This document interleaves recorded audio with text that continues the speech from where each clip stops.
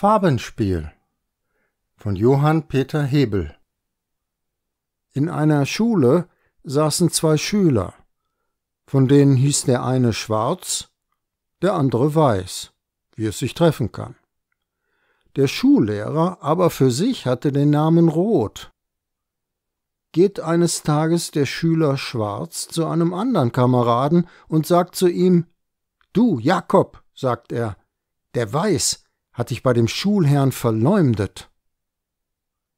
Geht der Schüler zu dem Schulherrn und sagt, ich höre, der Weiß habe mich bei euch schwarz gemacht und ich verlange eine Untersuchung. Ihr seid mir ohnehin nicht grün, Herr Roth. Darob lächelte der Schulherr und sagte, Sei ruhig, mein Sohn, es hat dich niemand verklagt. Der Schwarz hat dir nur etwas weiß gemacht.